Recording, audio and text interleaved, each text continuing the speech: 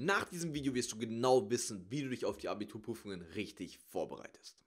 Willkommen zurück Abiturathleten, hier ist Leo, dein Abiturcoach und unser gemeinsames Ziel ist dein Traumabiturschnitt. Und damit wir diesen Traumabiturschnitt erreichen, musst du natürlich genau wissen, wie du dich richtig vorzubereiten hast. Aktuell kommen ja sehr viele Videos dazu, wie du den Zeitplan richtig machst, Lernplan machst, sonstige Sachen machst. Und hier geht es darum, wie du wirklich ganz, ganz genau dich exakt richtig vorbereitest. Wenn dir das Ganze hilft, ja, wenn du Abitur 2009 schreibst, abonniere unbedingt diesen Kanal, weil hier bekommst du all die Sachen konkret aus allerbester Hand. Ich habe selbst 1,0 in den Abiturprüfungen geschrieben. Ich weiß genau, wie es geht. Ich habe in 2018 10.000 YouTube-Kommentare und Instagram-Nachrichten beantwortet zum Thema Abitur. Allein auf diesem YouTube-Kanal gibt es bald 2000 Tipps zu jeder erdenklichen Fragestellung ähm, in Bezug auf Oberstufe und Abitur. Das heißt, wenn du Abitur schreibst und es gut machen willst, dann ist hier genau die richtige Anlaufstelle für dich. Deswegen abonniere den Kanal, ähm, komm vielleicht sogar in unser Coaching, wenn du es möchtest. Schick dieses Video an deine Freunde, einfach damit die Bescheid wissen, damit die am Start sind. Und ähm, jetzt kriegst du genau die fünf Tipps, die du jetzt an dieser Stelle brauchst.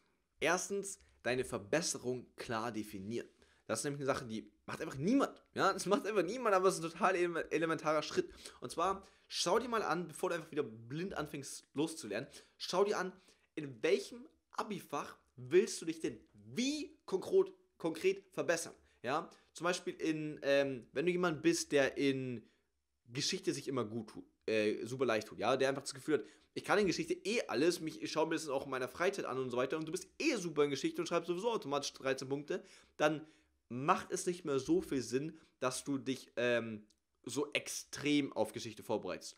Du würdest dich vielleicht gerne auf Geschichte sehr gut vorbereiten, weil es dir viel Spaß macht, aber wenn es darum geht, deinen Traumabiturschnitt zu erreichen, dann macht es nicht mehr so viel aus, ob du jetzt 13 oder 14 Punkte schreibst. Ja, klar, wenn du jetzt irgendwie 1-0 haben willst, dann musst du natürlich jeden einzelnen Punkt rausholen. Aber wenn dir auch schon so 1-5 oder 1-9 oder was auch immer reicht, dann ähm, schau wirklich auch dir die Fächer an, wo du noch richtig viel verbessern kannst. Also wenn du zum Beispiel in, in Bio bisher einfach nicht so gute Noten geschrieben hast, ja, du hast gemerkt, du hast 6, 7 Punkte, 9 Punkte oder 11 Punkte, was auch immer, was für dich nicht so gut bedeutet, ähm, dann und du, dann hast du auch auf dieses Fach keinen Bock. Ja, aber du bist in dem Fach nicht gut, also du hast keinen Bock. Das ist eigentlich in der Regel immer so. Nur für deine Note lohnt es sich viel mehr, dann auch wirklich Zeit in Bio zu stecken. Ich meine, gerade Bio kannst du dir immer noch aneignen. Ja, also super viel auswendig lernen. Und da musst du halt dir dann überlegen, okay, in welchen Fächern kann ich mich wie konkret verbessern? Das, zum Beispiel in dem Beispiel, was ich jetzt gesagt habe, dass du sagst, okay, Geschichte kann ich eigentlich nicht mehr viel machen, ich schaue mir das halt noch ein paar Mal an, damit habe ich das eh drauf, dass du im Bio da sagst, ey, da muss ich ja wirklich fast noch alles aufholen ähm, und dass du das dann halt auch wirklich machst. Zweitens, klare Fokuszeiten setzen. Das ist so wichtig. Im ersten Punkt natürlich nicht ans Handy gehen. Das ist das Entscheidende da, eben wie immer schon gesagt, die Blog-Apps verwenden. Dann aber auch unbedingt das wirklich für dich selbst auch als Fokuszeit nehmen. Also wirklich auch vom Kopf wissen, hey, in dieser Zeit lerne ich. In dieser Zeit lerne ich. Da gucke ich nicht an der Decke rum, da, da lese ich nicht irgendwelche anderen Sachen, die noch auf meinem Schreibtisch sind, ähm, durch, da beantworte ich nicht irgendwelche anderen Sachen. Ähm, und auch deinen Eltern und deinen Geschwistern sagen, da habe ich Fokuszeit. Mach das wirklich für deine Abiturvorbereitung. Klatsch dir da irgendwie ähm, DIN A4 platt vor die Tür und sagst, hey, von den Uhrzeiten, von da bis da, kommt einfach niemand in mein Zimmer. Ähm, und wenn da Leute trotzdem reinkommen, dann ignorierst du sie halt. Ja, also du musst halt wirklich da ähm, auch gern radikal einfach deine, deine ähm, Zeiten festlegen und die dann auch wirklich dir selbst und anderen gegenüber einhalten, damit du da halt auch wirklich ähm, fokussiert lernst. Weil wenn du nicht diesen Fokus hast, dann wirst du es nicht schaffen, die ganze Stoffmenge in der verfügbaren Zeit auch wirklich hier oben reinzubekommen. Drittens, Konzentrationslevel sichern. Und zwar damit meine ich insbesondere dann, bevor so eine Fokuszeit von dir beginnt. Weil, wenn du solche Fokuszeiten setzt, ja, und du unbedingt auch irgendwie halt Lernzeiten hast und da, wo du gerade deine Lernsession machst und wo du halt äh, die das ganze halt machen möchtest, dann kann es in der Abiturvorbereitung, dadurch, dass man halt viel lernen muss, schnell sein, dass man denkt, okay, in der, in der Fokuszeit, in meinen Lernsessions, da lerne ich auch wirklich, aber die andere Zeit kann ich dann machen, was ich will.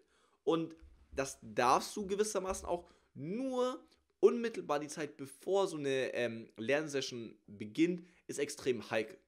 Denn da solltest du einige Dinge beachten, die du auf gar keinen Fall tun sollst. Das ist zum Beispiel an deinem Handy sein. Warum? Wenn du gerade durch Instagram für eine halbe Stunde gescrollt hast und die ganze Zeit ähm, dein, deinem Kopf Dopamin fütterst und dann auf einmal sagst, ha, jetzt fokussiere ich mich, das funktioniert nicht, weil dein Körper will mehr von diesem Dopamin. Ja, und wenn du ihn dann auf einmal wegnimmst, kannst du dich einfach beim Lernen nicht richtig konzentrieren. Das gleiche gilt auch für Essen. Natürlich sollst du Mittag essen. Und das ist natürlich super wichtig. Aber ess nicht so übermäßig viel. Weil wenn du so übermäßig viel isst, dann kannst du dich auch nicht richtig konzentrieren. Dein ganzer Körper, dein ganzes System ist eigentlich noch damit beschäftigt, ähm, zu verdauen, anstatt sich zu konzentrieren.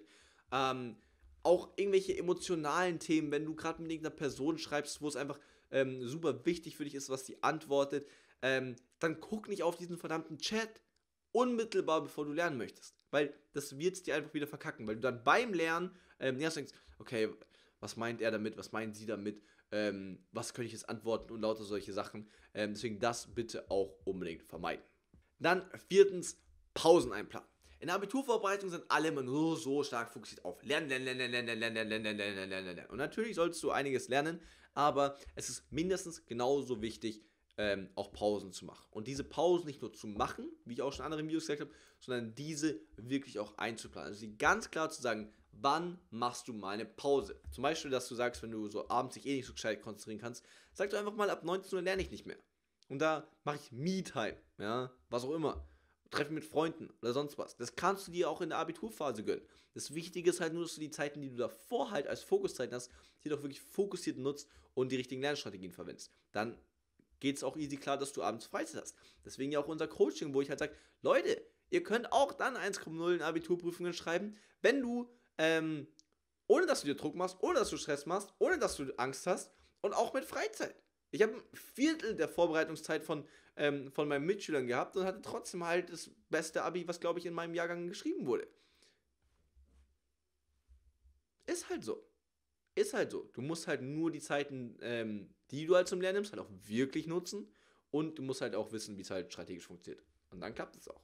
Fünftens, abends den Tag reflektieren. Macht auch kein Mensch. Macht kein Mensch. Macht kein Mensch. Macht trotzdem einen riesen Unterschied aus. Und zwar nicht nur abends irgendwie, irgendwie drei Dinge, für die ich dankbar bin oder irgendwie so ein, so ein Journal oder so.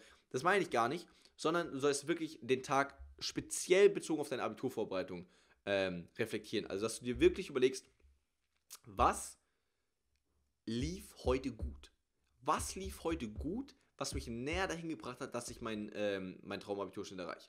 Und was waren Dinge, die passiert sind, die mich davon abgehalten haben? Und dann, wie kann ich diese Dinge eliminieren? Das sind die drei Fragen. Was lief gut, was lief schlecht und wie kann ich die Sachen, die schlecht liefen, besser machen? Und ich verspreche es dir, wenn du das jeden Tag machst, das ist so eine kleine Gewohnheit, wenn du das jeden Tag machst, deine Abiturvorbereitung wird durch die Decke gehen, weil es gibt so viele Dinge, von denen du dir nicht bewusst bist. Ja, da bist du einfach nicht bewusst, dass du sie falsch machst. Und du musst dir einfach nur die richtigen Fragen stellen. Das merke ich auch im Coaching ganz wieder. Ich stelle den Leuten einfach die richtigen Fragen. Und deswegen haben die so geile Ergebnisse. Das ist es. Es ist so nicht mal so, dass ich im Coaching ähm, noch mehr Dinge erzähle. Natürlich das auch. Natürlich können wir da tiefer in die Materie reingehen. Natürlich können wir noch mehr ähm, Insights auch raushauen. Aber was im Coaching mit das Wichtigste ist, ist, dass ich den Leuten die richtigen Fragen stelle. Und du kannst dir auch selbst die richtigen Fragen stellen. Nur leider funktioniert es nicht so. Ganz hundertprozentig. Das ist das mit dem Reflektieren. Mach das auf jeden Fall. Ähm, das bringt dir schon richtig viel. Wenn du aber wirklich die volle Ladung haben willst, wirklich sofort alles richtig machen willst und auch wirklich die Fragen von mir gestellt bekommen möchtest, wo ich einfach weiß, da daran scheitert es. Daran scheitert es einfach bei den meisten und ich habe das einfach mittlerweile so stark im Gespür. Ich, ich mache seit einem Jahr, seit ein, zwei Jahren nichts anderes mehr, als mich mit Abiturienten zu beschäftigen. Deswegen, ich weiß ganz genau, woran es ähm, hakt. Wenn du das haben möchtest, bewerb dich einfach für unser Traumabitur-Coaching. Erst Link in der YouTube-Beschreibung. Und ansonsten, denk dran, ich glaube an dich. Wir sehen uns im nächsten Video. Dein Leo. A? Nobody gonna work harder than me Especially if it's my dream I can't let none of these looks intervene, no Most of these blessings I can't even see. Praying that I get to breathe, yeah.